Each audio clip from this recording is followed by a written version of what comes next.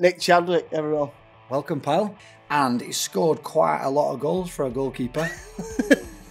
Um, big don't going, Hey, you need one more player. Get yourself on, son. chairman's lad who was playing, just sit down in the middle of the pitch He give you champagne before the game. before the game. This was before we were No wonder he's got oh, big. I was going round nicking everybody's a little off glasses. I was going, Physio used to cane me. I Why? used to Big say, like, can I get a rub? He's like, nah, you're not going to play anyway, so just leave it. We're on. We're back. How you doing, pal? Right, mate, yeah. You? You're looking well. He's not coming in your training gear this week. It's bad, that training game. Well, it looks bad on you. It's tight. hey, I scored it uh, on Tuesday. I know you did. And uh, after you scored, I got about 10 messages saying, make sure you ask Jordan why he ran off kissing the badge. I definitely didn't. I You didn't, did? I didn't even celebrate. You did? My old team, so I just calmed everyone down. Well, Nicky Adams messaged me saying Jordan were kissing the badge. Fuck off. Did ya? No, there's no chance. You've only been there two minutes. It was like so. One of the lads had played a shit ball through when I was clean. I was on, yeah. so I was pissed off and I was shouting at him. And all of a sudden, it, this ball ricocheted just fell at my feet from 20, 25. Is that the Irish lad? Who? Ricochet. so you put So it through shit, to you. So shit. Uh, so I've just took my anger out, hit it, and it's gone in. Finally scored. And then you ran off. Absolutely no loyalty, have you? What have you been up to? Uh, I've just come back from Northern Ireland.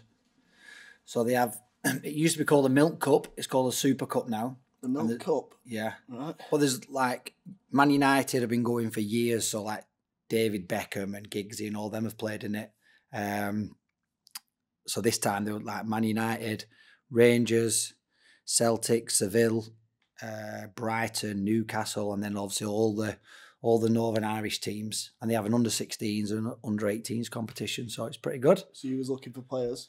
Yeah, well, just yeah, just looking, just mingling. Any good ones?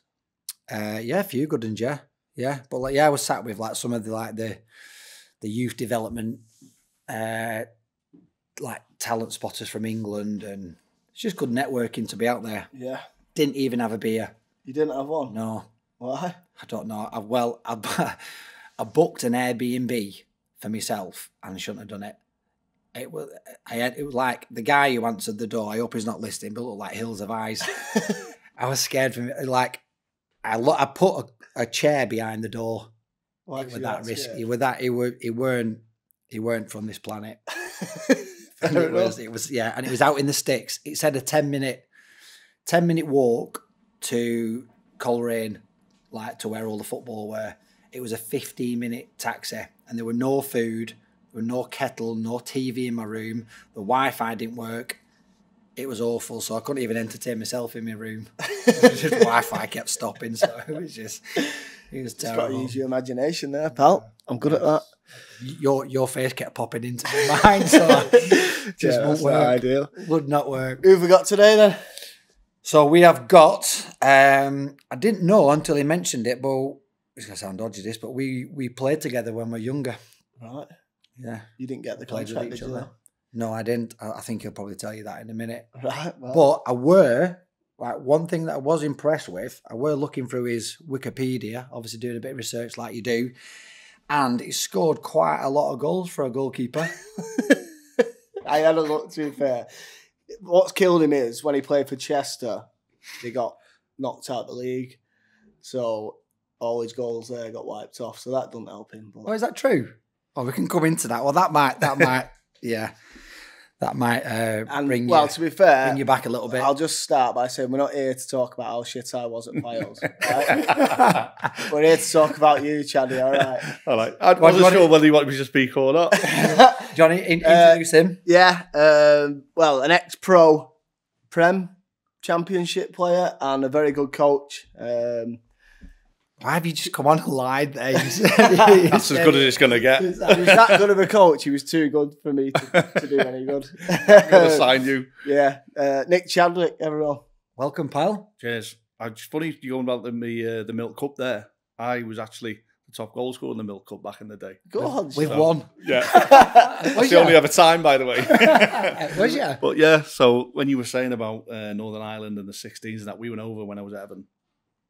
Ran riot. We had an absolute ball. Uh, and we won the Milk Cup, and I got the top goal scorer. I think the year before me was um, like you've just said, Giggs, Sheringham, all the top boys had won it. So Wow. so it was quite a prestigious thing for the for the kids. And I thought it had gone. And you saying you're going back there, it's uh, Yeah. it still is. Well, yeah, it's called the Super Cup now, and on the first day they have a big parade.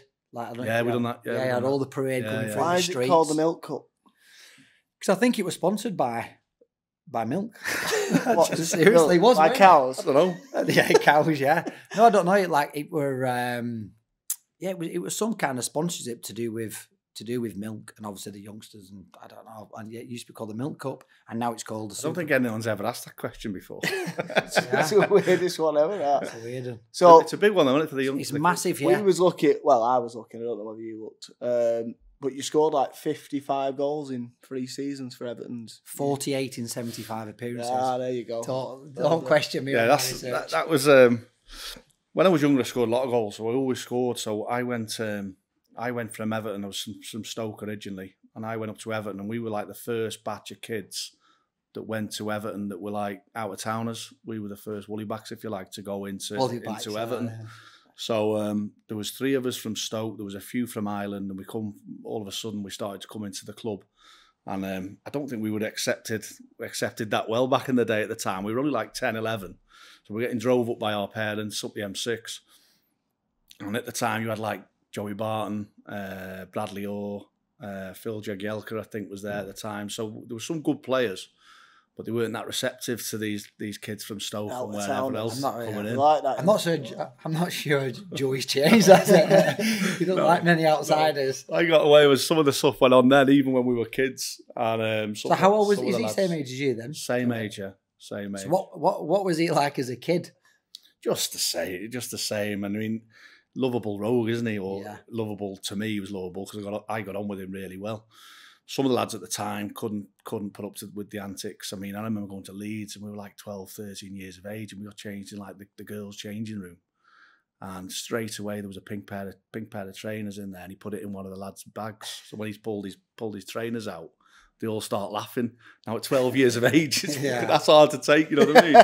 and you couldn't handle it. You see people crumbling straight away. Um, but that was that was the Scouse humour all over, and I Yeah. I bought into it. I liked it, and I did quite well. Because you've got a little bit of a twang now. now, you? yeah, now, Yeah. but back then as a 11, 12 year old, I didn't. Yeah. Um, but it was great. I used to go up there Tuesday, Thursdays, bit of training, get in with the lads. Was doing quite well, and um, back down the M6. Dad get me a McDonald's or whatever. Back down the M6, and then up for us for a game on a Sunday. So from eleven and twelve up to sixteen, that was that was me really. That's what we did year in year out. And you suddenly now you look back and think, my dad taking me up Some the M6, that, yeah, yeah. after work, taking me up the M6. You don't even train. think about it at the time, No. do you? No. It's okay now. But he was loving it because he'd drop me at training, then they'd go and have a couple of pints and watch Monday Night Football or whatever it was Yeah. with some of the other dads, and then we'd we'd come back. So it was just um, it was good for me for me and my dad and our relationship as well, going up the M6 all the time. And and as you said, I was I scored quite a lot of goals, and I was I was always one of the bigger ones. So Did, Um, did you I did always know at that well. age that, that that's what you wanted to do? like like like us all, I think that's what I wanted to do. Yeah, I think if to ask me as a young kid, I go I want to be a footballer. Um, and like everyone, you get laughed off, and you're not going to be able to do it. But they were good at Everton. They made they made they came down. I was 14, I think, when I signed my scholarship with the, with a with a year's pro, and they came into the school. They presented me with a shirt. They made a bit of a song and dance. Then the people in the school and the teachers and all that started. There was a bit of like clamour even when I was a kid, Yeah. um, and they made you feel appreciated and special in that way, really. So But that helped with It the was good. school then, didn't it? yeah, yeah, well, I've always done all right with that. I um when I was younger, I was very good, and Everton. I've heard this rumour. Everton tried to sign me, and they wanted me that much. They took me to the ground on a match day, paraded me around the pitch with like my dad and my granddad. I was in with all the players, getting signed shirts, and it was like, "This is this lad's going to be unbelievable." And then I fucked him off and went to Bolton. And Did I, ya? I should never have done that. Is that is that always what did Bolton regret? do? What? What did Bolton do? Nothing. so why, so why would you go there? I don't, I don't know. Just because it were closer, I think so, yeah. And I, I'd, I've- I'd been at Bolton already, right? but Were- they wanted to Were sign me. Bolton as big as Everton back then? Probably not. No, I don't. I don't think I- Bolton have ever. Been I don't think my dad could be asked No, going I to mean, Everton. like you know, like higher in the league. I was trying to think, obviously, 'cause Yeah. like were Bolton in the Premier League then? Yeah, since? they was. Yeah, yeah, yeah. they I'm was. trying to think. It- yeah. They were about the same at that, at that time, but obviously you don't know what's going to happen. I've got a good academy at Bolton as well. Yeah, yeah, it was good. Yeah, yeah. Uh, I didn't last very long, but uh, yeah, that's that's So what was- chose. Was Rooney in your age group? No, he was below me. Um, so in my age group was Sean O'Hanlon. Remember Sean? Um, Peter Clarke was a year above. Who's had a good career. Um, George Pilkington had a career. Um, they were in the year above me. Um, but at my age was like Joey Barton, uh, Phil Jagielka, Yeah. Bradley Orr, and they they got rid of everyone. So we had a, we had I thought we had a brilliant team, and then like 14, 15, um, they made a bit of they made a cull for some reason. They merged two age groups, so only me and Sean O'Hanlon stayed from actually our age group, and we went up a year and played with with the year above. What and they got rid of them for And they got and they got rid of them. So I think Bradley Orr went to Newcastle. I think Joey went to Man City. Phil, Phil Jagielka went to Man City, and there was others as well. They were good. They were good players. Um, for whatever reason they did it, I'm not so sure. Um, Did, do you think they ever look back and think, why did we do that? Or like, is it you must, just, you must do? do. You must do. Must do, yeah. or did they just think, right, that, that was our decision? Yeah. I, I I heard that they always regretted you going to Bolton. Carry on, Chads. so um, yeah, they probably would- they probably would have done, but we we merged and went up a year, and then we we. Um, we Did you know you were one of the better players then? At, at that age group, did, did you feel like that you were one of the better ones? Uh, yeah, we, we had a good side. So even as even as kids, we were winning a lot of games, and we were we were we were playing well and beating teams. Um, and I always played up front for them. And I was, as I say, I was quite physically developed quite early, so the game was easy for me at the time. You said well, you were a good player, George, as a kid. Um, the game's easy when you when you're playing well, and you, especially a front player, and you're scoring goals. And I always found it. I always found it quite easy at them levels. Um, and I always played up a couple of years, so I played I was 14, 15 and came on in the Youth Cup, which was a big deal at Yeah. the time. And um, and I always managed to be playing up and above my years, probably because I could physically handle it. Um, Yeah, it does which help told me I was doing it? well. Yeah, told me I was doing well. Yeah. Um, and it was just nat- all my time at Everton was just natural progressions from like 15s, 14s to 15s to 16s, 18s, reserves, first team. It just all felt fairly natural. I never thought too much about it. I just went and played and loved it. And that was the way it was, really. I suppose it always helps if you're scoring goals as well. You always know that you're going to get a, a, a chance higher up, don't you? And you score goals in, you're going to get, Yeah. and eventually you'll Yeah. end up in the first And team. used to might be the same as forward. My my mindset was really I just wanted to score. So if I score, I'm doing quite well. Um, so I'd go into the reserves at like a, I was like 16, and I'd nick a goal, or 17, I'd nick a couple of goals, and all of a sudden, you're playing regularly in the reserves because Yeah. you keep nicking goals. I went. I remember Walter Smith saying to me at, ti- at the time. I went to see Walter Smith as a 17 year old and asking why I wasn't playing, which I look back now and look back now and think, but I was 17, I was scoring for fun in the in the reserves. And I remember, like, I think Everton had Steve Watson playing up front, who was a right back, and uh, and somebody else. I don't think they, were, they weren't really centre forwards. Franny Jeffers had gone to Arsenal and they were struggling for forwards. And I was scoring for fun and I was feeling, I was like smelling myself a bit.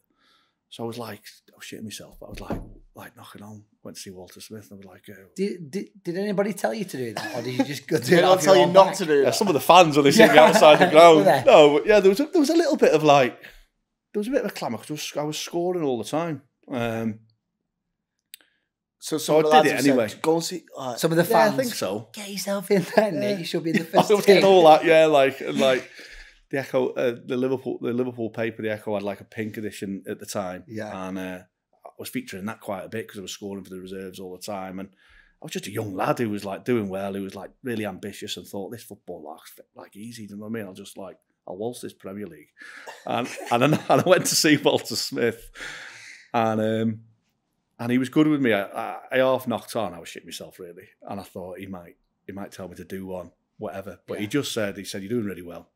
He said you're 17 years of age. Um, you're making my life difficult, which is which is what your job. what's what you need to do. You're scoring in the reserves. Um, he said you remind me of of of Ally McCoist in the type in the type that you don't always have a good game, but you score. And I thought that was true. Yeah, Because was at times I thought I'm having a stinker here. Just get just get a goal, and it's Yeah. like that'll mask over it. Do you know what I mean? Uh, so he was he was right. It, I didn't always play well, but I scored. I think that's where Jordan you're going wrong. I'm playing shit. you're you're playing shit. it. I'm not getting. We're not allowed to mention Fylde, are we? you played well in and a, Fylde, never in scored. A bit, in a bit, yeah, we'll, we'll, we'll get on to that. No, but that was a good assessment from Walter Smith at the time, and he gave me he gave me confidence because he could Did have he- shot me down. Did he come and watch the all the time? reserve games? Yeah, all the time. Well, that's good then. Yeah. Because you mentioned that me, and- me and you played together. Yeah, That, that was I came to Everton for a so while. at about that time, and um, I was lucky because at seventeen I was playing in the reserves with like your Phil Jevons and Danny Cadamarteri. yeah, and, and at that at that time it was reserves, so we had pros playing. So like I remember Alec Cleland, who was at Rangers before, played Scot Gemmill, Mark Pembridge. Um, probably won't like me mentioning it, but they they played in the reserves quite a lot. yeah, David Unsworth. So it was good for me. Um, sometimes I play from like Kevin Campbell or Big Dunk, and I was thinking, how good's this playing with like like fellas who were, who are in the Premier League um, and against against opposition as well. So like David May or Stephen Henchoz at Liverpool or yeah. whatever. I was getting all these good experiences, and um, and it was it was really good for me. And then I think you came. We had a couple of trialists coming in as as any club does, and I think I remember you coming. I think we played at Gigg Lane, didn't we once? Yeah, yeah, Um, Man United. Yeah, and I remember you coming in because my my mindset at the time was a centre forward was coming in, and I, I that kicked me on because I wanted to prove I was better than whoever was coming in. That Um, worked Which was quite it- easy. Yeah. we never got a deal, so I must have done all right.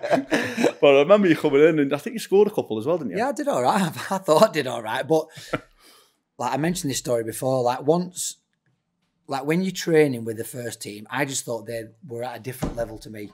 Mm. Like I, I honestly didn't think that I would be a Premier League Yeah. player because I was training, like say, like Kevin Campbell, Phil Jevons, um, Franny Jeffers was there, and then like yeah, I just felt like they were at a different level to me. I don't know whether that's because I'd just come into it and I- I might have finally got there, but yeah, no, I just felt like they're in a different league. I think I, I had an advantage there because I was just I was just sort of part of that process embedded in probably slowly. And Yeah. it just I said before, for me it just seemed the next inevitable step.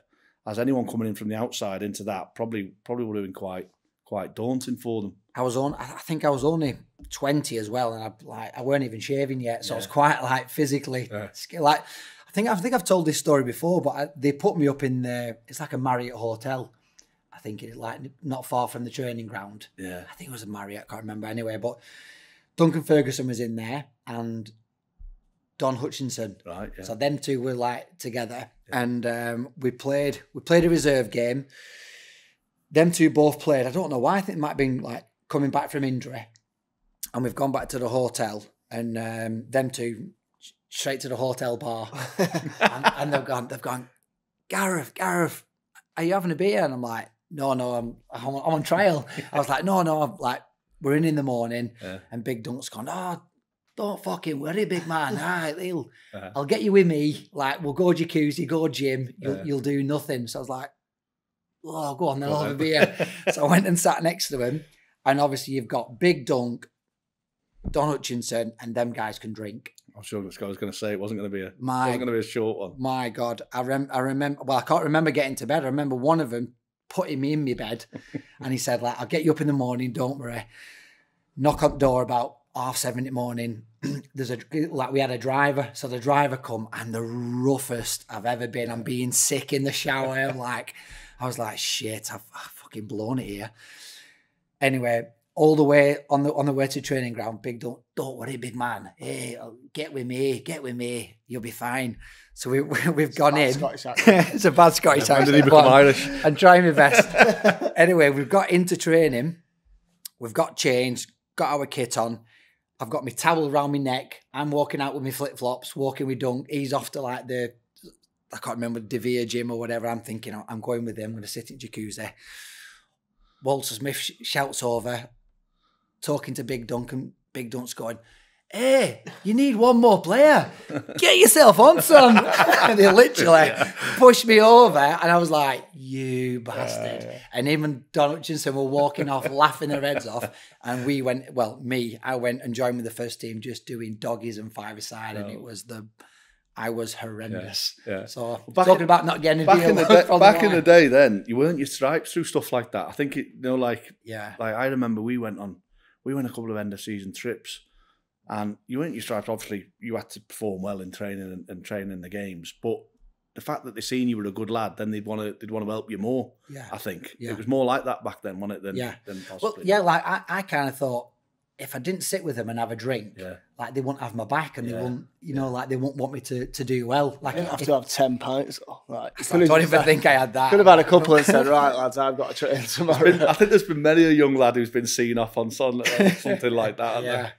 But that was like they were the characters back then, though, weren't it? And they could like say like they got up fresh as a daisy, went and Yeah. did whatever, and they were brilliant. He was brilliant. Duncan to me when I was a young player around that time was. I remember I was in the squad for one of the first times, and I come to uh, I come to park on the players' car park, and I'm thinking I'm, I've arrived here. Like this is this is a bit more like it. In your own car. Yeah, what my car was you yeah. What, yeah, what you saying? Uh, what was the driver at the time? He was like a comp, little compact BM. Remember the little cut-off yeah, compact? yeah, yeah. So, uh, so I bounced into Goodison with my suit on. I've thought I've arrived. Like, went to get into the car park, and the steward's gone. Uh, it's full, mate. And I'm like, uh, I didn't want to say, but I'm like, I've got my suit on. Now he went, no, it's car park's full. You'll have to go and park. There's a school down the down the road. You're gonna have to park Did there. he not recognise you? Any, did, No, did so the- no, he went on to me at all. So I've had to drive. I've had to pay a fiver to park my car. And I've had to bounce into the change room. And I'm going, I couldn't even get on the fucking car park. and Dunk's gone, up, he was like, club captain, he said, I'll sort that. And uh, to be fair, he sorted it. And Yeah. then then he spent the next six months saying, I remember when you couldn't even get on the car park, son. You was quite um, highly rated at Everton, though, weren't you? So, I how- say you made your debut at 18. Yeah, yeah, I, would- I, would- I, would- I did really well. I mean, when I was when I was at Everton coming through, and I just was like so confident, and um, a lot of the coaching staff were brilliant. Colin Harvey, who was my, my youth team coach, he was, he was really hard on me, um, but he was, but he just he worked me to the bone. So I was fit, I was strong, I was confident. Uh, Andy Holden went from the youth team to the reserve team. Taff, who, who loved the bones of me, so I knew I had someone who, who had me back there in terms of on the staff, um, and I could just play with with freedom and not even think about the game and just try, as I say, try and score and try and do well. And I always managed to score. And even when I when I broke through, when David Moyes came, I think he made a big play on giving some of the young lads a chance. Um, So, so it was it was him who who gave you yeah, the I. I came on. I came on under Walter Smith in the um, the EFL Trophy or Yeah. whatever it may be, and uh, we played Crystal Palace that night, and um, and I came on, and it was a draw, and uh, we had to get on the huddle at the pitch at the end, and he's got his penalty like penalties like who wants one, so I'm shitting myself. I didn't want one like so. Um, but I'm saying I did because I thought Yeah. chance to score. have it, I to- yeah, I've got to go like yeah. and you have to say it Yeah. like me as well, don't you? So they've gone like four players, and it's only, it only like it was Crystal Palace. I think they were in the championship at the time, and it was um, and it was like they had four takers anyway, but they didn't have a fifth. So I'm like half putting my hand up, but I, I was thinking, oh, my arse was gone. Like, so I think they put someone as fifth penalty taker anyway, and then they went first sudden death will be you, Chad. So I was like, great, Sound. yeah, until it come to it, and then. Yeah. So they were losing 5 4. And I think Doug, Dougie Freedman stepped up for Palace. And if he scored, they went through. And if he missed, I was on first sudden death. And I was like 17 and I was thinking, I fucking hope he scores. Well, No. I was, uh, but I was like, my ass was gone. Like, yeah. And uh, he scored. Oh, so and you he, never he got to scored, so I didn't take it. And he scored. And then it kicked off in the changes after as well between some of the staff and some of the players. So I went through this like made up I've got on. Oh no, I'm going to take a penalty, sudden death. To now there's a big kick-off going on in the dressing room. So it was like it was a Shit. crazy, crazy night. Welcome Like. to the first. That was my first experience under Walter Smith, and then mainly it was under David Moyes after. Do you do you not feel that is football to a T though? It's such up and Yeah. down so quickly. Yeah, yeah, definitely, yeah. Like you're there, like what? Well, well you'd be eighteen, we So I think it was seven, that night. I think it was 17, 18, around that time. Yeah, I Yeah. think I just turned eighteen, maybe. Yeah, Um, but you, it's mad. like you work, and I relate this to some of the young lads I've worked with recently. You you working all your life to get that opportunity, and then when you get on, it's like, oh, now now I've got to deliver. You know what I mean? And it Yeah, took me. yeah. Suddenly that first game, I was thinking because I had to took a penalty. I, mean, I wasn't the greatest penalty taker ever. I, missed I missed a few for the reserves, to be fair. Um, but there was an opportunity for me to go and score straight away and make an impact. But I was half like, yeah. shitting myself. Do you Um, do you look back now and wish you'd have put your hand up for that fifth one? I, I- I think I, I think I did at the time, and rightly so. I don't think they wanted to put me Right, under okay, that pressure. I fair think they wanted to yeah. protect me a little bit. Not Um, fifth penalty as well. yeah. just come on fresh. Yeah. Could always, yeah, get- But- you could No, always work in your advantage. But, though, uh, what, I, what I learned from that is what I took into the next few games was if I get an opportunity again, I just want to score. Yeah. And, and and as I say, David Moyes came, and, and I'll always be grateful to him because he gave me an opportunity straight away. What What was he like as a manager? He was tough. I mean, I, Because he, he did really well for Yeah. Everton, didn't he? And then obviously then he moved on to yeah, he to did brilliant. United, He did brilliant. And I, and I look look at him now. I think he was like, I think he was still in his thirties when he took over at Everton. Money. Yeah. So he was younger than what I am now. And I think to What was good in that- about him? Well, to walk in that dressing room, you had like Gascoigne, Ginola, Duncan Ferguson. You had some some big hitters in that dressing room at the time. And I remember his first meeting, and I remember him being really stern and really firm. And and and looking back now, I think fair play. And I remember him saying like, "Mess me around once, you might I might give you a second chance, but the second time, You just cut say your- cut your Gascoigne. balls off." Yeah, he was there. Yeah, okay. And I'm thinking he's just addressed all these big hitters and just set the tone straight away. And his authority was there was there from day one. What was Gaza like then?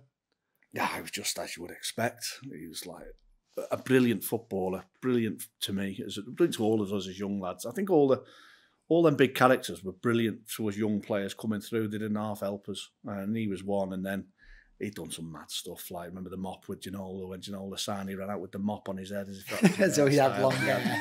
Yeah, Zav- Yeah. Zav- Xavier was doing the interview and he lashed the big bucket of water on him from above in the kitchens and It was just non-stop, it? yeah, non-stop, Yeah. non-stop. But obviously he had he had the issues as well. And, Yeah. and uh, What was his talent like in in training? Like frightening. was was he exceptional in training? Yeah, yeah, he'd lost a yard, but you could see. I remember watching him in 1990 in Yeah. the World Cup, and when he when he drove past people and his arms come out and moved them out of the way, he still had that, and it was like to see that up close, and he, he was still the same Paul Gascoigne. He was just not as strong and not as fit. Yeah.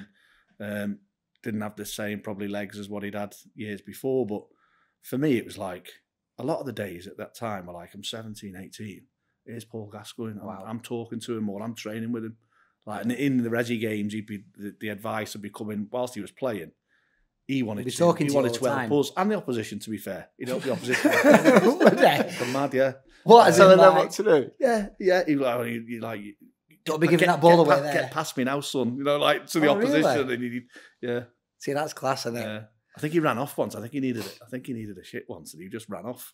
And everyone was like, "Where's he gone?" Just And ran he off come back pitch. on. I'm so sorry, lads. Just needed to go.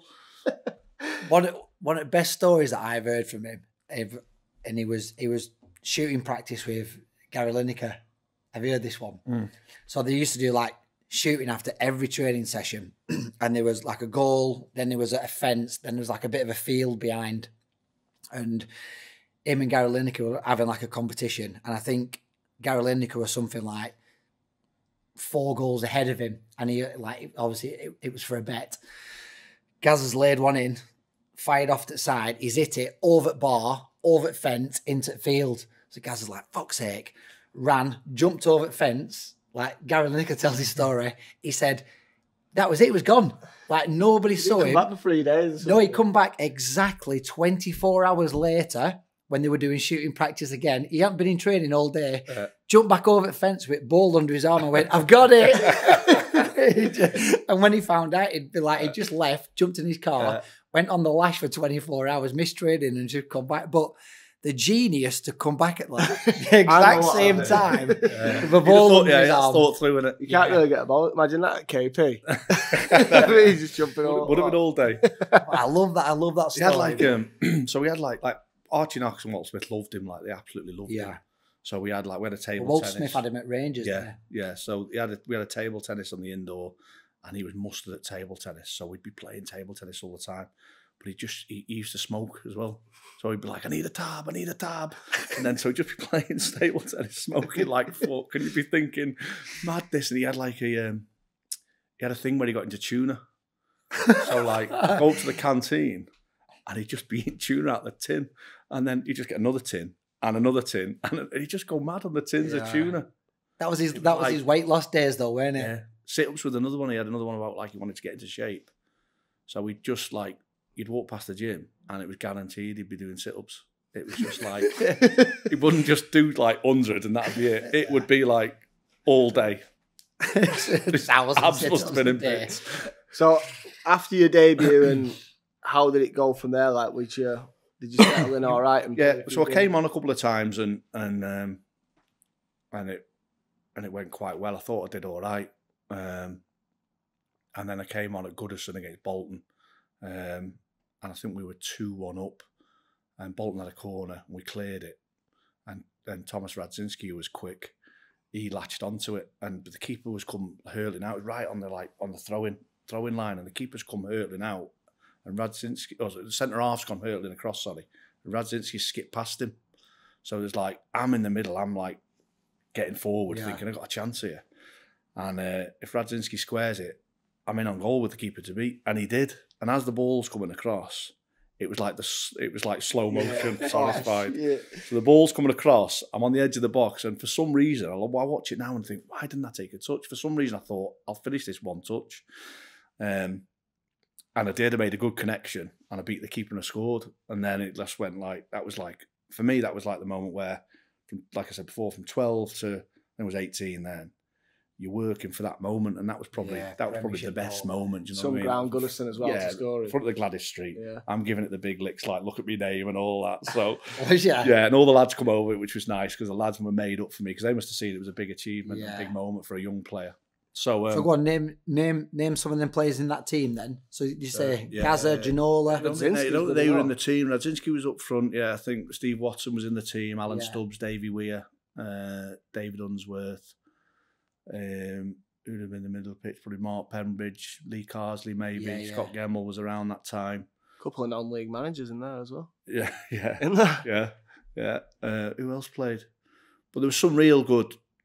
It was. I always say there was good men around at that Yeah. time who who, who helped. Um, Did you have family in the crowd? Players. Yeah, so it was nice. That was the best thing for me. I went and scored two or three more straight away at Goodison. So I scored, came on and scored against Leicester, and then I scored. I started against Blackburn. I think it was a Super Sunday game. And I scored again. Then, so like my nan and granddad would come to that game, and like like my dad would come to every game. So he was at, he was at the first one. But Like like, you paid your dad that was that was better. Yeah, that was better for me. The fact that th- my family, I remember Taff. Like was Taff was like six foot seven, centre half, was like big and ugly centre half. Had had a great career, but been my youth team coach, and resi manager. He's in tears when I scored my first goal after Oh, the was it? Me and him were almost in tears. It was like such a moment. Like Yeah. um, and then, like say, like my nan and granddad were in the crowd, my sister would come and all that. So I, I was more, almost more pleased. Once I scored my first goal, it, I was a little bit more like, this is just how it's going to go now. I'm just going to keep coming on, score, get in the team, and then that's the way it's going to be. Um, so I, I quickly got got involved in it and got like used to my surroundings and being with them sorts of players and being in that environment. Um, but it was nice. Looking back, it was lovely for my, my family, especially my dad, who'd been to every every game I'd ever played, to be able Oh, to experience that moment. Can you remember who was who was in the Blackburn side? Was Shearer? I think it was Yorke and Colwell up front. Was it? Yeah, That's class. yeah. Um, who else? I think was it Lorenzo Amoruso might have been in the side that Yeah. day. Shit Um, rovers, aren't Yeah, that, uh, I'm not too sure. To be fair, I'm not too sure. I think Ian Walker was in goal at Leicester when I scored. I remember that. Right. Uh, Oh. Robbie Savage played in the Leicester side. I was, I was trying to think who'd be the Blackburn keeper. Uh, Brad was Brad. Flowers. Maybe, yeah, maybe after, maybe after Flowers. Did Brad Friedel play for Blackburn? Yeah, Brad Might Friedel. been Brad yeah. Friedel. Yeah, I think it was Brad Friedel. I think it was. class. Um, who obviously played. So after that, then, like like I say, like you s- you scored three quick goals, and then it stuttered a little bit. Yeah. Why? Like any reason behind that? Can like how did that make at- you I feel? It was just at su- I was at such a big club, and um, I think probably in, in David Moyes' eyes, I think he wanted that young, fresh, energetic impetus, and we stayed up that season. Um, but I, I don't think it was probably ever his long term plan to play me up front as Everton's number nine, and I, I didn't think that was going to be the case either. Um, I was just happy to be to be doing as well as I could. Yeah. Um, How many years below was Rooney? so Rooney was two years, but Wayne was two years below. So Uh, he'd started to. Yeah. yeah. So the, ne- the, the next season, I think I had a you hurt. think that affected you? I think it would. I think it did. Yeah. I mean, there was always the conveyor belt. You know, like Cadamarteri, J- Jeffers, Cadamarteri, Phil Jevons, uh, myself. Then you had Wayne. Then you had Yeah. James Vaughan. Then you had Victor Anichebe. So a club like Everton, you always you're always getting the next one. And I think, I think you've got to take your chance. And if you don't, you move on because the next one's going to be there, and that was that was the case. I think the season after I broke through, um, I needed a hernia up quite early, quite early on in the season, um, and I sort of missed that pre-season type. Uh, I always thought pre-season. I always looked at it, and I say again, something I say to the young the young lads now. I think young players get an opportunity at young at the pre pre-season or the end of the season. Now I'd got Yeah. my chance at the end of one season, and I wanted to make sure I made the most of it the pre-season after, and I think I did. I think I scored a few goals, and I was right in, right amongst it. Um, and for whatever reason, I think I got a hernia injury or, or was out for some reason. I was wasn't playing as well. I can't quite remember. and all of a sudden, Wayne was in and around in and around things. Um, and you look back now and think, no one was going to be able to stop No. Wayne. You know what I mean? Coming was- through He now. was a phenomenon. Yeah. Um, and so so Wayne broke through, and then they were never going to be able to play a young lad alongside another young lad up up front. And and to be honest, I probably wasn't good enough either. That's that's the crux of it, and certainly nowhere near Wayne's ability. Um, so Wayne broke through, and, and then I started to struggle with. I had the odd hin um hernia injury. I went out on loan to Derby and didn't score. Yeah. Um, and I, I had some other times when I came when I came on and I, s- and I scored and I still was managed to get involved. Um, but it was always a little bit stop start for me then. Um, and I got to the stage and I got a little bit frustrated. I was like four years in the resis, and I was like by my fourth year, it wasn't Yeah, quite the that- same as it was when I was you seventeen. want out, don't you? Yeah. By then. Like, Yeah, and I was And thinking, it changed to like a bit tappy tappy like it is now as well. Or Uh, not so much, no. And and like looking back now, I should have just stayed because I was like I was right in the mix still. I was training with the first team every day, Yeah. getting opportunities. I think like the week or two weeks before I eventually left, I got on. I got on against Sunderland in the Premier League, Right. and I was still only like 20, 21. So like why what, what, there wasn't this this rush to actually for it to happen. I think, but because I'd because I'd played quite young.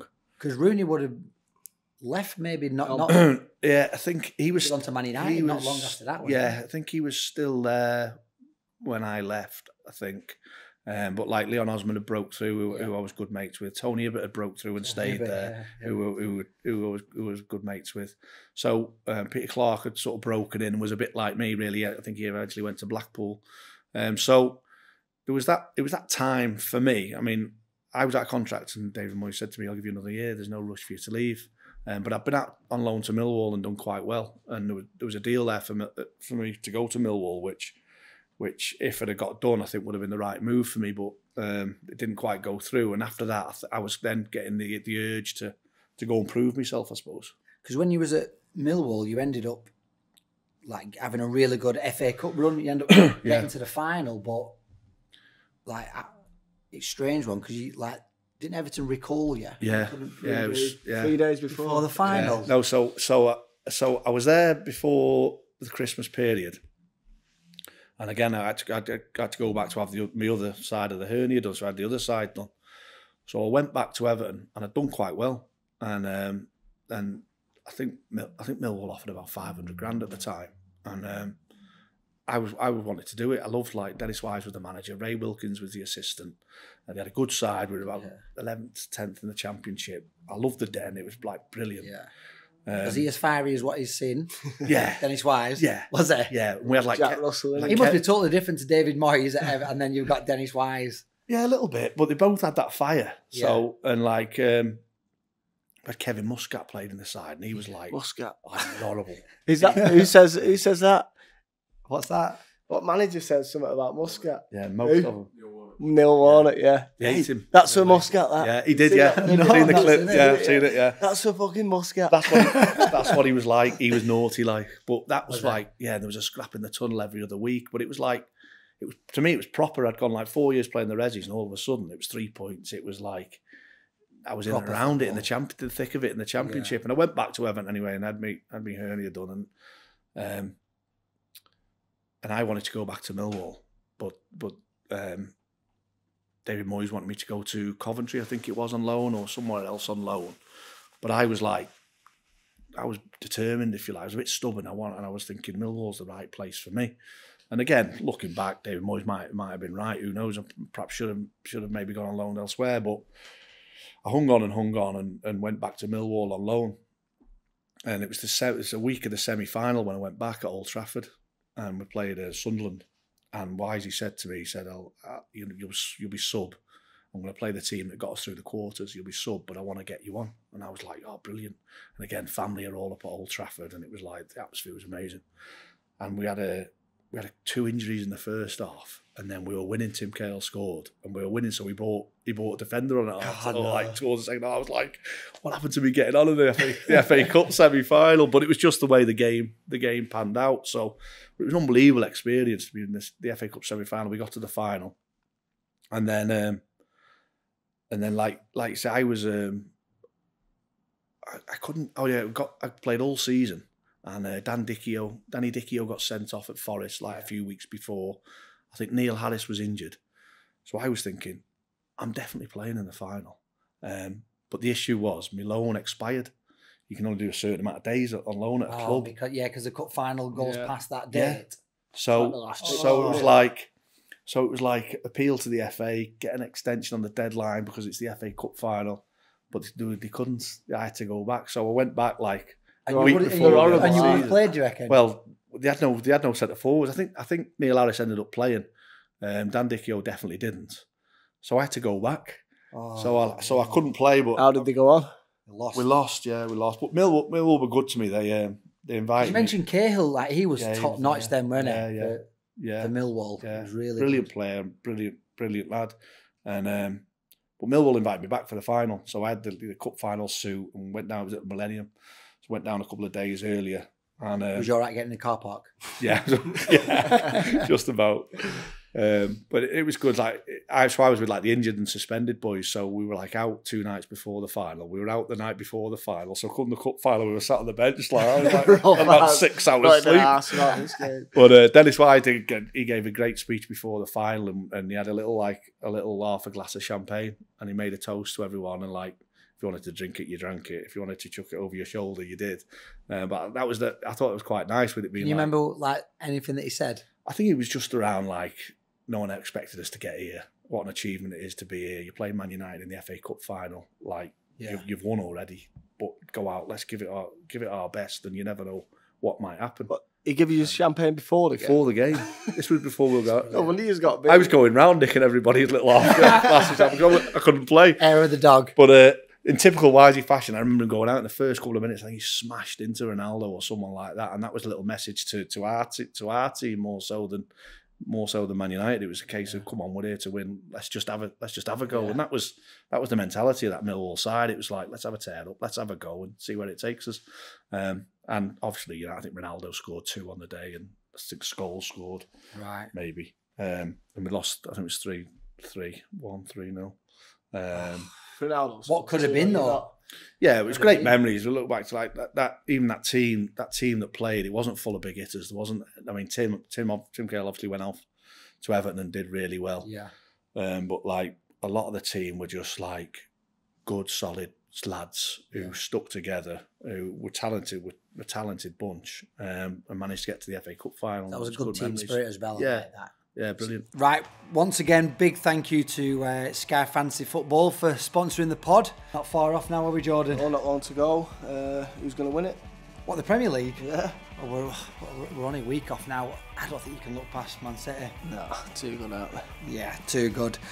So if you want to come and challenge us, obviously there's going to be a cash prize, and then we can double or quit sit for uh, the round of golf against me and Jordan.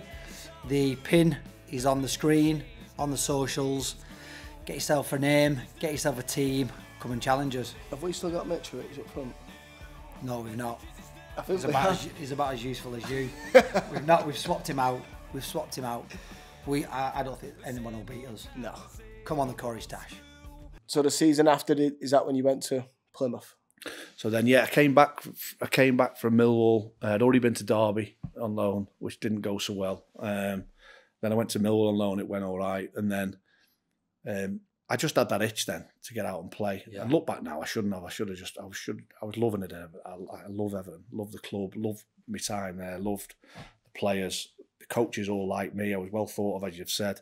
I was doing all right. I was still in and around it, uh, but I just had this itch to go and like in my mind, I was going to go to the championship, score a score a load of goals as I'd always done, and then I'd be back to the prem. It was Yeah. just going to be dead easy, like.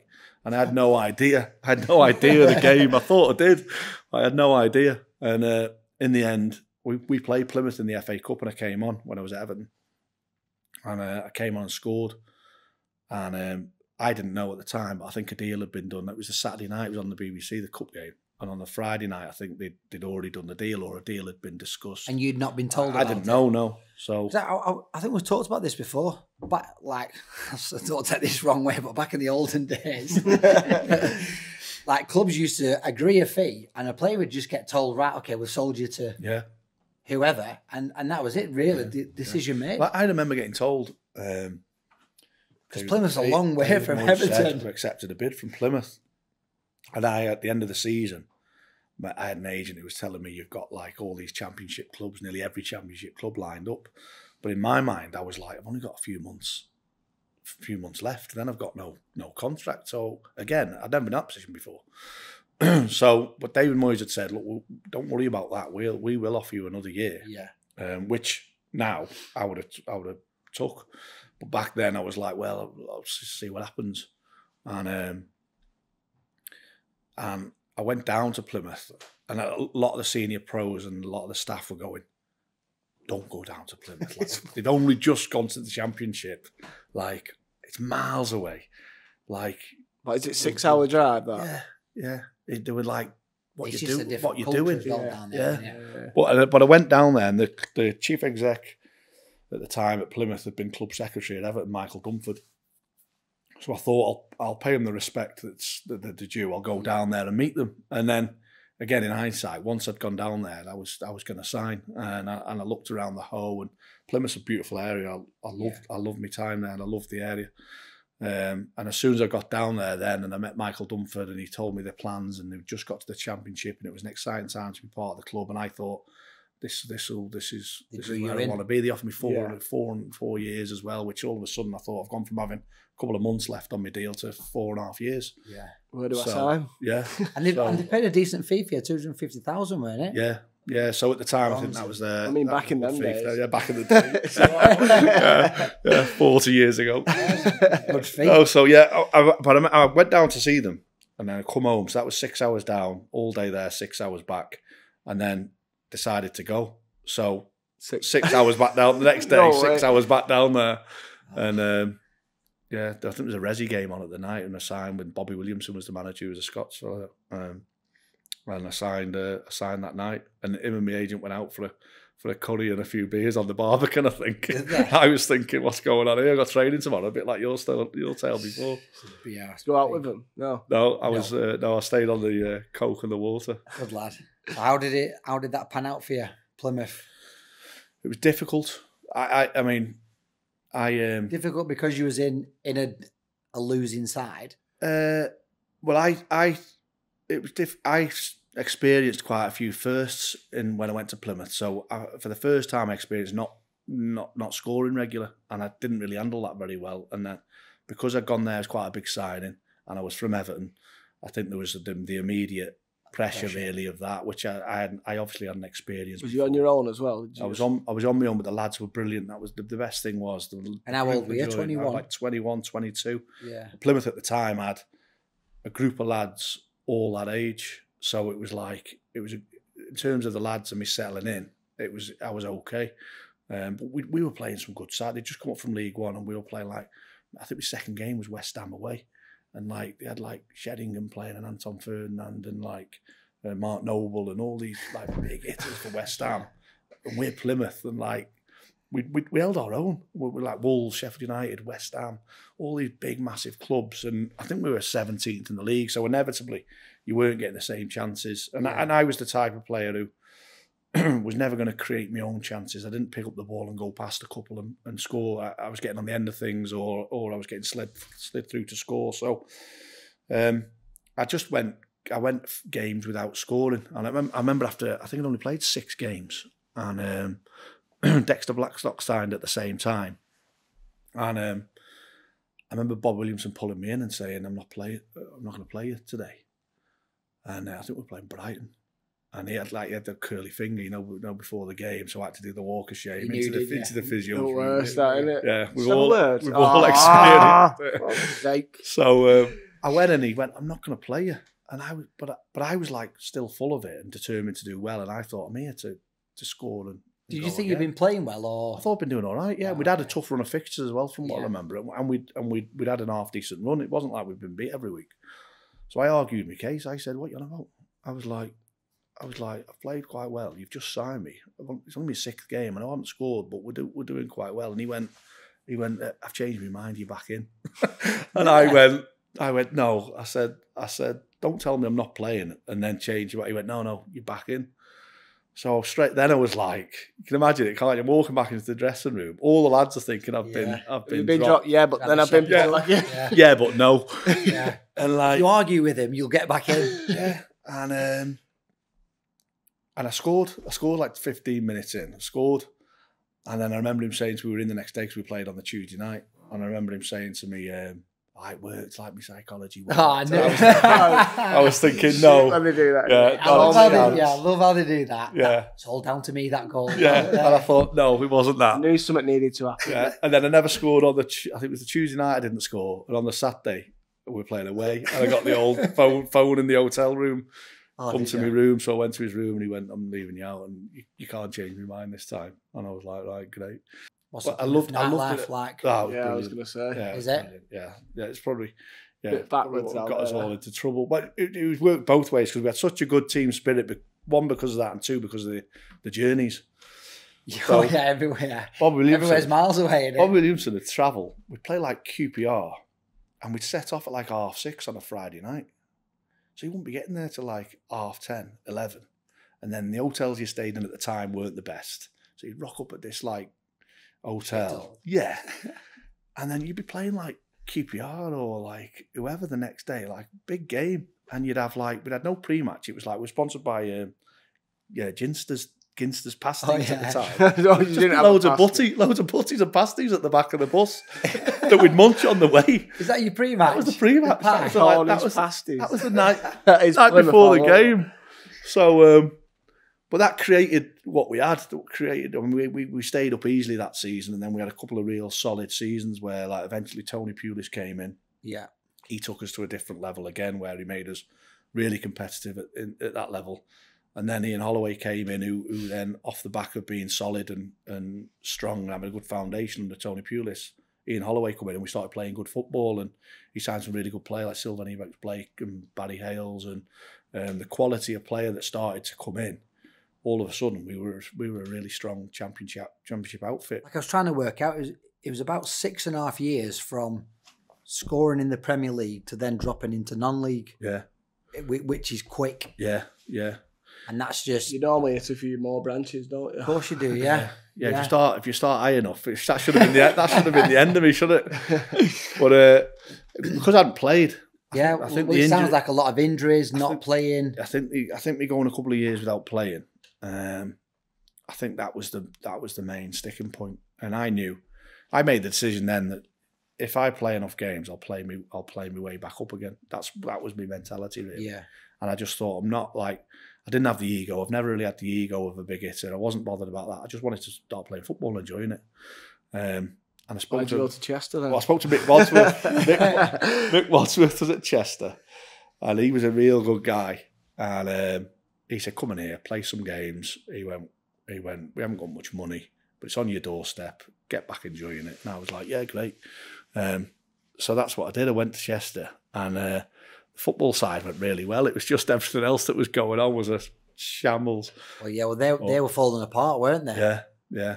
So um, You actually didn't play for him, by the way. I know, yeah. if you look, if you look on the records, it's not 17 goals gone. I know. Is I a know. annoying, really, isn't it? even from from the you had a good season with them, didn't yeah, you? so the the fans wanted the chairman out at the time, and a couple, the sticking point was a couple of the lads that played for us were the chairman's were the chairman's lads, so we'd be playing, and like the fans would start singing songs against the chairman, and like the chairman's lad who was playing just sit down in the middle of the pitch. Chairman's ladders in He's playing, his son. yeah, his son, he's playing. So the fans are Sit down. the fans are like slagging the chairman, singing whatever, and they just sit down. And we'd be like, "Come on!" He'd be like, "No, I'm not playing." No way. Yeah. So like, and then Can't I, do that, can you? You can't Yeah. it was like it was it was it was mad. That's like It was mad. was his dad loaded? Because that's Yeah. like rich kid mentality, that and it just sit I down. could understand it. You know what I mean? It was Yeah. quite. It was. Get, it wasn't like. It wasn't nice. Um, Yeah, you just what you some men. You can't not just like, down. yeah. can down. we did. Just stop. And that was the end of it. protesters, and uh, then well, we, had- we like we were. I think we were beating like we were beating somebody couple two 0 The fans ran on the pitch to protest. It was game abandoned, and you're Ah. thinking Yeah. what when you was winning? we're winning, yeah. And like That's Chester fans for you, that for, the- honestly. for, the, for their fans, it was like the bigger picture was we want to make a statement sound. But winning 2 0, I've scored two. You- I'm, just, I'm, just, week. I was just about to So you say. scored 19. Probably. I was just about to say. I have- So, like, not a similar situation, but I I scored one 0 and then a, a parachutist dropped on the pitch. Where's this? And the game was abandoned. Where at? Uh, you can Google it. It's on it's on YouTube. I don't know if you. I don't know how he Yeah. misguided and landed on the pitch. I had a waterlogged one. Um, you, you're Leicester. fuming. I You're scored fuming, against aren't you? Did you do? Beat him up? Plymouth. He's wrapped in his parachute. off. You're fuming, aren't you? Fuming. That, that's what I'm going to say. So so you were two 0 up. That got abandoned. Yeah. But it become like a, it become like these sorts of things were that regular.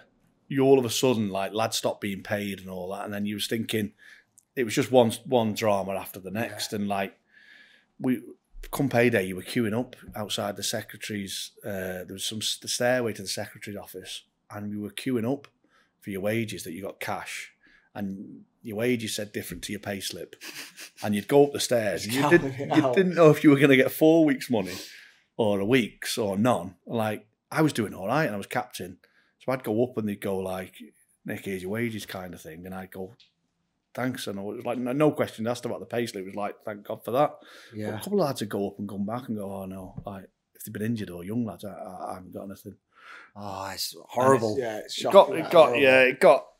In the end, in the end, I think the, like the PFA got involved, and, and I remember meeting the PFA on behalf of all the lads at the time, and and uh, the, and the players got paid out of the benevolent fund with the PFA. The PFA were amazing, like Yeah. um, they got involved, and um, in, and I think the PFA leaving. got involved when you was when it was non-league. Yeah, they did that. They did then. Yeah, it was good. But I remember like I remember like I think Portsmouth were in a similar boat at the time, and I remember like um, I remember some of the Portsmouth lads coming on Sky Sports News saying it was a disgrace they hadn't been paid and X, Y, and Z. And I was thinking well, it's a little bit different when you've like twenty grand a week haven't been paid. And Yeah, Some of our lads literally were saying to me, two ton. Nick, I can't get in. I can't get into work. I can't put petrol in my car. So I'd be on the phone to the PFA going, "These lads can't put petrol in the car, literally." And um, but they were they were really good. I met I met a couple of them from the PFA who um, Bet the PFA didn't sort helped? Portsmouth's wages out, did they? I think they did. I, I think, I think they were involved in that as well. But um, it's difficult, isn't it, when lads aren't being paid and they can't they can't get in. Um, it was just a difficult situation, but eventually I moved. I moved on. I think I was owed You went, yeah. They bought they bought another manager. They bought Mor- Morell Maison, or Ma- I think his name was. No, I don't know. They bought him in from Chester, and by this time, I I'd said, look, I'm I'm going to be moving. Like I'm going to sort that out. And uh, the chairman had said, yeah, you go and sort yourself out. And I got a call off one of the lads, and he says, um, got a new manager in. Some money's floating around. Like he's gonna they're going to pay us. Come down to training. So I was like, ah. I said, you get mine, or uh, or I'll just get it on like next week or whenever. For whatever reason, I couldn't make the day they were saying. So they all got some. They all got some wages, like two weeks cash, I think it was wages. But I hadn't gone, so I was like, "It's all right. This new manager's come in. Like he's going to sort me out." Lads are telling me he's all right. So rang this new manager, told him the situation, this Morell, and he went, "Yeah, yeah, I've got like your wages are here. Come down on Tuesday for training. And, like we'll sort you out."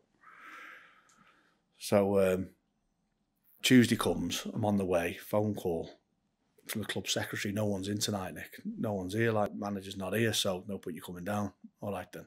What about the wages? Next week, call again. Manager's not here. Next week, phone the manager. Oh, I'm down south at the minute. Um, uh, all the wages are in my business account. I've locked, locked, locked, it, locked it away. I'll be there, but I won't. I won't have your wages. And the weeks just went by and went Yeah. by, and he robbed me. He robbed it. What, never, Yeah. never what, giving me the. what do you reckon it was? Ah, I don't know. It's r- A few Robbed it. it doesn't He matter. it, yeah. It, it, it, robbed his he kept it, yeah. yeah. He kept it. So I never got the. It was, a, it was a couple of weeks, and I moved. When I moved, I went to Barrow. I could have gone to a couple of clubs. Could have gone down south. But Barrow trained in Do you, Manchester. miss, do you miss that 40 quid that it took? Exactly, yeah. well, uh, so I just said to Barrow at the time, I said, look, uh, this is the amount I'm owed in wages. I think it's like six weeks. I said, I'm going to need some sort of signing on, which to give me. And then I ended up I ended up going to Barrow, um, which I, Nice Again. and barrel, isn't it? I enjoyed, Yeah, enjoyed, send it enjoyed the trip up there on a Saturday. But they trained in Manchester, so again, it Yeah. was local. Yeah, they do. So I could have gone to like I think it was like Wimbledon at the time. We're having a bit of a push. Stevenage were having a bit of a push. They wanted me to go down south, but Wimbledon in, they were still in, in, the, National League. I League. think they were in the National League. they were just about to go up.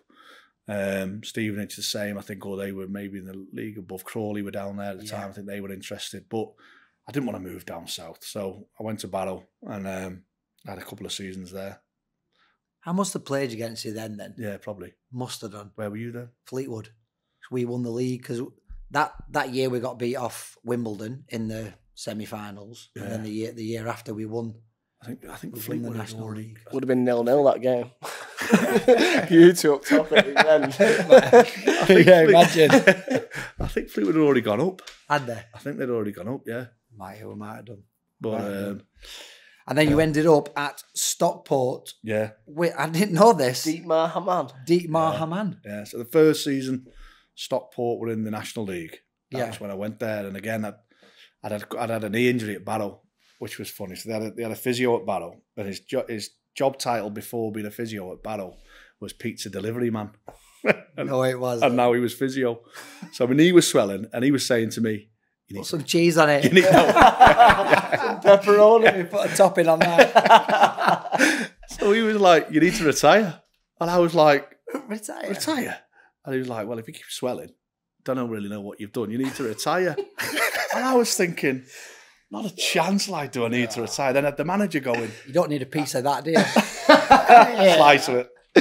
So he'd go, um, so the manager was going, just give us an hour. And I was going, have you seen the size of my knee? And he'd go, well, give us an hour. And at the time, I was desperate to play, so I'd be like, go on then. So I'd play an hour.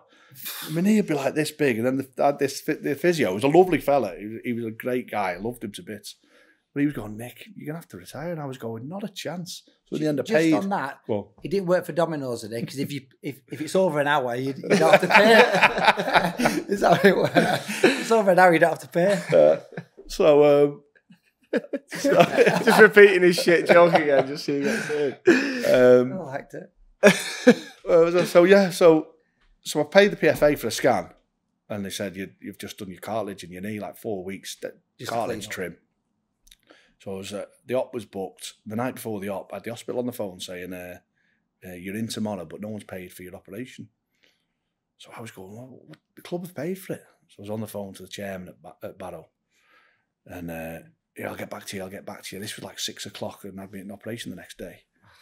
So the, the chairman phones me and and says, uh, "We can't afford to pay for the operation. We can't go private. We've got to pay out. Like we've just got to pay. You're gonna have to go on the NHS." I was like, "Well, how long's the waiting list on the NHS?" They were like six months. I was like, "I'm waiting six months." So um, I was into the savings. Like I was on the phone to one or two people. Look, I've got this operation tomorrow. I need to pay like six six and a half grand or something. So I had to pay it myself. So I paid it myself. And again, the, I was onto PFA were brilliant. They sorted me out in terms of um, Did you get it back? got it back, yeah, through the PFA. Um, Can't go on NHS when you're Six, that it mad, six and a half grand as well. Just and wait that. time. Yeah. So um, Should pe- give Aaron Burns a call. Insurance. yeah. So um, so I got it back to the PFA, Yeah. and then I was thinking, well, I ain't going back to the physio for rehab and all that. I just so I went into Everton, and did a bit of rehab there. I went down to St George's and did some rehab. Rehab there, and I got to the end of the season. The manager phoned me up and went, "Listen, Nick, um, I think it's best that you know we probably won't be offering you anything." I was like, "Fucking right, you won't be offering me anything. You think I'm coming back?" So, um, so I left Barrow, and then I was out without a club again. So I went training at Alty, and um, What a club. yeah, played against Burnley. Some of the Burnley lads like were like, "What you do? What you doing playing at Oh, playing?" don't like, lads, I don't like, fucking start. I played against I played against in the league like two years before. So, um, but from playing at from playing for Alty, um, Was you- it, was it was it not nice just to be enjoying it again? And, yeah, that was fine. and Like I wasn't like I say this to some lads now when they talk about like my head's gone and all that. I'm like, you've you've got to deal with stuff in your life. You've got to Yeah. deal with the with the with the cards that you're dealt. You know It's what that I mean? Resilience that yeah. we talk about all the time. The Yeah. Lads don't have it much. I was now. just get I was just getting on with it really, and I was I was enjoying being at home, and uh, I, I had a decent I had a decent life, and I was still earning to, to like the average guy. I was Yeah. still earning all, all right money, and I was playing football. So and I, and I was still young enough, and I still had that belief in myself that just keep playing and you'll get back. And I scored a few goals for Barrow, and we won the trophy as well. So there was there was some good times in terms of the season I had at Barrow, the eighteen months. Was that at Wembley? Yeah, yeah. I didn't play. I'd, I'd been cup tied because I played for Chester. So you Um, missed out on so I another. missed Wem- it. missed out on another How many Yeah. finals have you missed? Yeah, I know. So, uh, so as part of it, I give my, I think I give my, med- my medal to uh, to the sports science guy or another another the physio guys who Not the who Domino's. was guy. no no, no. it was the one it was the one before him. Um, but that was um, so it wasn't. It was there were some good times as well, and it was like I say, I was enjoying it, and there's some great lads at Barrow and great lads, and when I went when I went into Stockport, so I think Didi Hamann had got wind of I was available, um, and he was trying to form like a new side, if you like, at Stockport, and I went in under under Didi Hamann, and he immediately made me captain. It was difficult because. Um, Stockport is a big club. It's not an, it's not a national league club, and for the first time they found themselves in the national league, and Yeah. there was a frustration amongst the fan base and amongst the club straight before I even, even walked through the door. There was a frustration that they were even at that level, um, and I think they expected to just go and walk the league straight away. But there was there was financial restraints again with with Yeah. that club and what was going on at the time that that was never going to be the case. And they had some good young players and. Sean McConville had come from Aki for quite good money. So there was Yeah. Tom Elliott was there at the time and myself. Um, so we had we had an half decent side. It just needed a little bit of time just to bed in a little bit of patience. But Such a hard league to get out of. Yeah, as well, it's the isn't it? worst, isn't it? Such Yeah. a hard league. well, Stockport ended in, ended up in that league and below for They went down. how many years? Yeah. yeah. yeah. So, but that was their first season at it. So I think even the fan base was a little bit frustrated and wanted to get bounced straight back in. And and um, Never won there. Stockport. Never won. Yeah, it's a t- it's a tough place to go. Yeah. But um, I, I loved it. I love I love being at Stockport. I love the cl- I love the club. Um, it was challenging because because as I say, they Yeah. wanted to get straight back up. I think we were about tenth, 9th or tenth. And how, how did how did you find the manager then? I loved him. Was he good? Dead chilled. I've got this picture of Uh, him like doing team talks with a cig because someone said Yeah. he used to smoke Did all the he- time. Yeah, but never. He wasn't. Um, he wasn't. He was professional. Like he wasn't like that in and around the in and around the changes. But in, in his office, I go up to his office like of a morning if any of the lads had any issues or whatever, and he he'd, he'd have it's like ciggy smoke or like he was just he was dead chill, dead. Real good guy. I remember we had a couple of nights out as lads, and I was going to him, "Come on, you've got to come and all that," because he was the type of fella you wanted to come. Um, and he, but his talent was ridiculous as well. Like on the training, Did he used to join in? Pitch, yeah, he was like, I remember scoring. I I went to it was the last ever England versus Germany game, last ever England game at Wembley, the, the, the Yeah, old Wembley, and I, I went to watch it, and I went in the toilet and missed his goal. I think he scored it Yeah. one 0 Yeah. missed his goal. But he looked like he some looked like uh, you know lining the line the ball up at the end of the training and have a like a have a shot at goal and everyone Yeah. have a have a goal. He loved that, and it had come to his turn, and he just spank it into the top corner all the time, and uh, he was ability wise he was frightening, but as a guy as well, he was a real nice guy, Yeah. um, and he got loads of stick from when from his time when he was at Stockport, but. Um, he had Jim Gannon was circling at the time. I think the fans wanted Jim Gannon to go Yeah. back, and he was circling and He's been back and he's been yeah. back and forth into that Yeah, he, he didn't have, did, he didn't have a chance to do well really No. but I think given a bit of time and um, his football and philosophy some of the managers and the players he's worked under I think Yeah, I he'd, I bet, think yeah. he'd have been a really good I think he'd have been a really good manager um, I think that probably He'd just have probably been a better manager higher up yeah possibly in the league. I think that experience put him off I think he thought Yeah, because he's never really done much. been before. hammered there like yeah Stockport Yeah. fans just caning him for 90 minutes on Yeah. Saturday. So out of out of your playing career, like who would you say? Like I, I, I always ask a question, like who's the best player that you've that you've played against or with? Like Yeah, the obvious Really ones are stands the, out. the Everton players, aren't they? Like, so Rooney was like Rooney was a league a league above in terms of his ability and and not only that, but his attitude. He was aggressive and he wanted to do well and he was a winner. And so you would have to say anyone who's, who's been on the same pitch as Rooney would have to say say Rooney in terms of the best they played with. Um, but I've I've been really lucky to play with some real top top players. Um, playing against again. I remember playing against the Invincibles at Highbury, and it was like uh, it was first game of the season, and you're playing like playing like Sol Campbell and Keown with the two centre halves. thinking, I was like were you 19. 19. Yeah, Was- but it's so, like so that was Henry and all them. all was them, yeah, Wow, All what a team that was. yeah. So uh, Pires. yeah, it was Jens Lehmann's debut because Everton had a few injuries at the time. It was the end of pre-season. I'd done quite well. I said spoke before about doing well in pre-season. I'd I'd, I'd had a bit of a push, and um, I think like Joe Max Moore and, and Big Dunk and Kevin Campbell, they'd either been injured or suspended or whatever it was. so um, I, I remember Moyes naming the team. I think we'd gone down to London. I think we were training like Hyde Park or just walking through set pieces at Hyde Park, and he brought us all in. And he said, "Look, first game of the season is the team. If you do well, you'll keep the shirt." Well, I was thinking, I want to do well. You know I mean? I want to keep my shirt. That was like it was great for me because I had nothing to lose.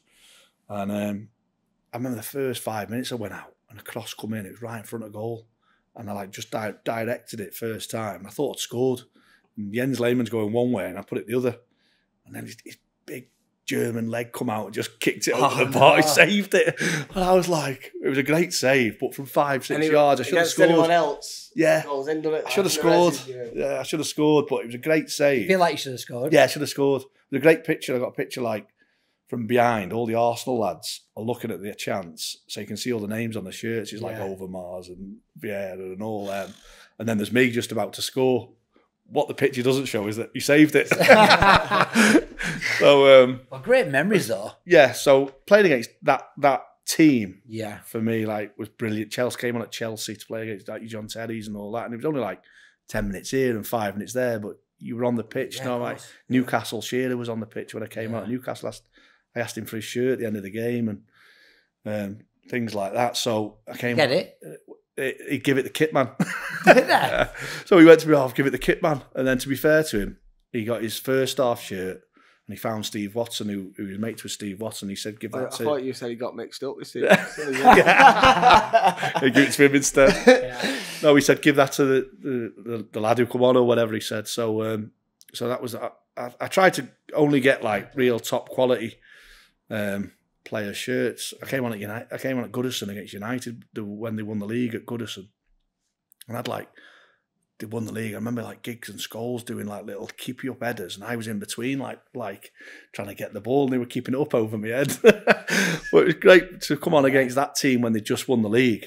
That was amazing as well. So some brilliant memories of players and teams I've managed to play against. Joleon Lescott and I played against Joleon Lescott. He was at Wolves. All right. He okay. was probably I, I would say he was the best centre half I actually played against for a, a, a, Just a long enough He had period of time. really, didn't he? Yeah, They he went a Man City player. after that, did they? Yeah, he went to Everton then to Man City. Right, oh yeah. So he was at Wolves at the first, time. But he at that level, the, the Yeah. level that I really played at, because as I say, when when you're coming on against these teams for 10, 15 minutes, but I think actually going up against someone for 90 minutes, he was probably the best. What at what point did you think coaching was was for you after this? Uh, I think because of I, I knew with the injury I'd had and with the way I'd fallen through the league quite quickly, I thought I'm gonna have to work after football. I'm gonna have to get into something. I knew that straight away, and, and I and I, I thought coaching would be for me. I love football, love the game, um, and then the more I stayed in the game, I went back to Plymouth after I'd been at Stockport. I went back to Plymouth, and all of a sudden, I just like people just navigated towards me. Younger pros navigated towards me. People were asking me questions. People were asking my advice. People were listening to my thoughts on on the game or or on and off the pitch. Really, I just sort of took on that role quite naturally. Um, Well, I s- I suppose your last couple of clubs you've been captain as well, aren't you? Yeah. So that kind of. yeah. So uh, yeah. So I, I just sort of like morphed into it a little bit in terms of them leadership qualities, and then I just wanted to. Once I knew I was leaving Plymouth, I went back to Plymouth, and I got I had two and a half years. I was like thirty, and I knew once I, that contract had finished, I wanted to get back to the northwest, and wherever I played, then I played. Um, so I started doing a bit of coaching when I was at Plymouth the second time around with the with some just helped out with the under 16s. I quite enjoyed it. Um, and then when I left Plymouth, I went to Tamworth back in the National League. And that was a tough that was a tough couple of months. Um, and I started to think like I think I could do a better job than what's being done, coaching wise and Yeah. management wise. And I thought if you're thinking that as a player, um, either go and do something about it and become a coach, or or respect what's going on. Uh, so so that's what I did. I went- phoned up some of the guys at Everton who were in the academy, and they said, "Great, come in if you're back in the area. Come in and come and help out." And So where where did, where did you meet Jim Bentley? So I met Jim on the A license initially. I went into Right, Morecambe okay. during one of the times I was out of contract. I went into Morecambe and did a did a couple of weeks pre-season. Some boy Jim, innit? Oh, I, I got on with him like house on fire straight away. Like Yeah. so, I, I knew him from doing a couple of weeks at Morecambe, and he was a player still then, um, but he was exactly the same.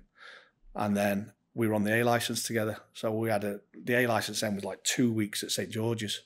So we just had like an amazing two weeks. Stag do. 30 lads. It was like it was amazing. Yeah. Uh, and I got on I got on really well with Jim during that time. So we've sort of half stayed in touch since then. And then he when he was when I was at Wigan, he was at Morecambe as manager and he loaned a couple of players from us. Yeah. Um, so we always just developed that relationship from then really. And then so what's what are you doing now then?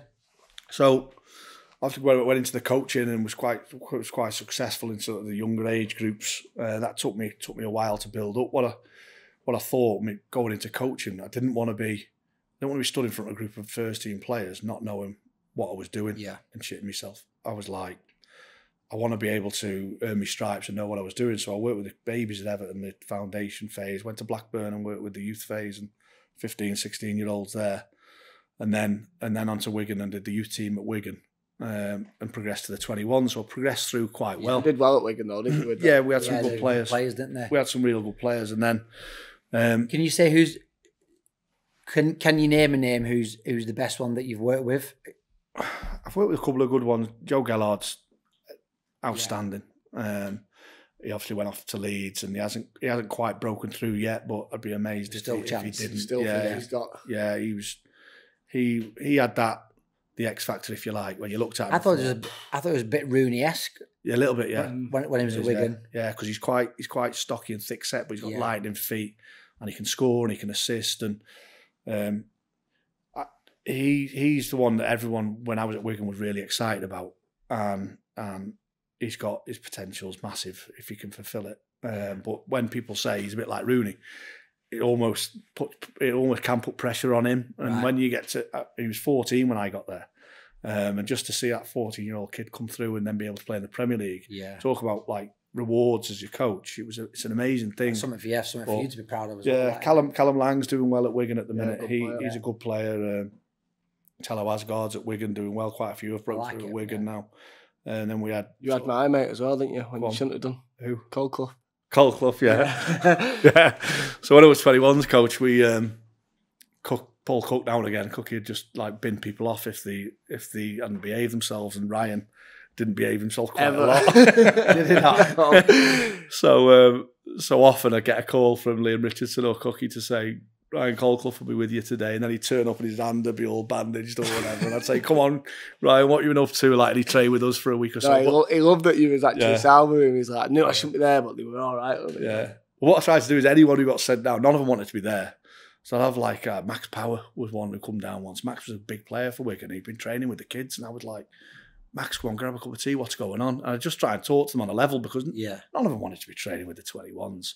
Um, but I, and then I'd get into them like, look, try and set these a good example because I was working with a group of players that wanted to get to where they were. Yeah. So I got them on board straight away. I tried to, um, and I and I was never gonna. I just said, just just do it right. At least I can report back that he's gone about it the right way. And they were all. Ryan was good as gold.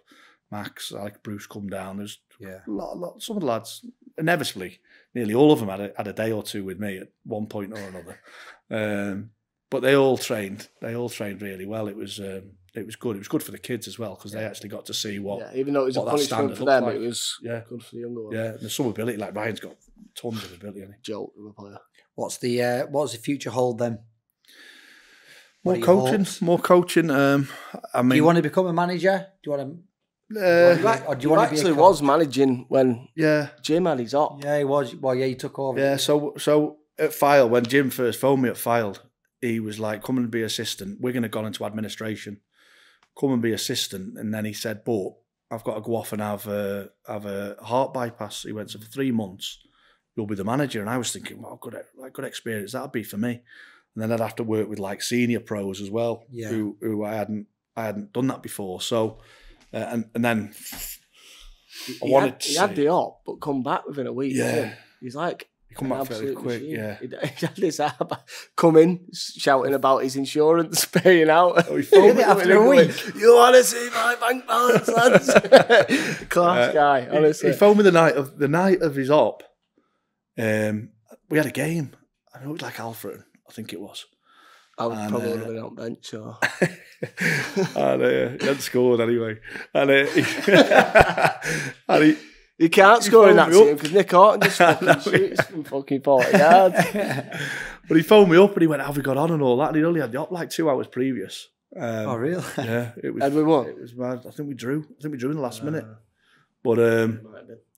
that was good for me, you know, like working with like, like not just his here, but Jordan, Dave Perkins, Chris Neal, Pondy. Pondy was there at the Ah, time. Lads who Pondy, had had a good group. That's Ortsy, like Philly, group. Yeah. Good side. Aussie, It was a good coming, side. Brains of Britain, Yeah. Osman, Yeah. uh, Whitmore, Skipper. Yeah. I was thinking the team they've gone up with is Yeah. what you've put I together. think. na- I think. Na- uh, yeah, I think nine of the starting team that got promoted were were playing when we were there. So Me and Samuel could have hit a fucking barn door. We would have been right. the chairman got rid of him. So like we had like we were top of the league nearly the whole season, weren't we? I think we were second in the league. And um, the chairman was on the phone to to the manager, the gaffer, like to Jim, and he said uh, we can't score. Like Jordan's not scored, um, and Samo's not scored. Uh, Jordan's going back to Alty, and Samo's going to Chorley. And we were like, sent us both They're back. there are two there are two centre forwards. Like, and to be fair, both you and uh, and Samo were playing really well, weren't you? It We were just doing all right in the end, yeah. And Orty was scoring for fun. Yeah. So it weren't like the team weren't scoring. I think we were the top scorers in the league by a mile. We were like 72% possession. We had this like way of playing was that was like, We was doing all right that season. yeah, we were doing great. I look back at my time and I think I just don't know why I don't know why it didn't click because I loved all the lads. Yeah. I loved the, the coaching staff and tails and didn't really like physio. physio used to cane me. I Why? used to Big say, like, G. "Can I get a rub?" He's like, "No, you're not going to play anyway." So just leave it. yeah, G. He was actually sound, but Ah, he he's just used to brilliant, get yeah. in my head. He'd be like, "Leave it," because I'll give Orton a rub. He'll defo start. And be like, oh, just what Yeah. he was winding me up, but I It's almost like it it's almost like you were trying too hard when you were there. Yeah, And, and we, we had a way of playing that was a little bit more patient. I Yeah. reckon the problem might, might not have suited you. and I was just And we were like, Stop making excuses. just say I was shit, champ. Were No, I was. played Exeter in the cup. We were And I was class. Yeah, outstanding. you score? Yeah. So And one disallowed, was it? Or Um, penalty that should have had, or one disallowed? Yeah, we should should have had a pen as well. Should have beaten. We lost. COVID though, wasn't it? Yeah. Not bad though. One game. One COVID game killed it. COVID- COVID, we'd have gone up. The COVID. It was the COVID year, and we'd have gone up that year. Got so many excuses. Yeah. Just getting Does out. sound Just like keep getting them out, COVID, yeah. bans, The chairman got. in cha- Orton. so the chairman gets rid of him and Samo, and me and Jim's not happy. Like, and I'm going like, oh, we haven't got a centre forward. And he says it's all right. The chairman says play like Man City with two false tens, two false nines. Yeah, two number tens as false nines. And we were like, Oh. yeah, and we were like, might not be going. That might not go the way we want it to. Yeah. So um, yeah, What the do you want COVID year killed him. So I, Oh, I went was from there- Rochdale actually. we went to Rochdale, yeah. So uh, Jim phoned us out the blue, really.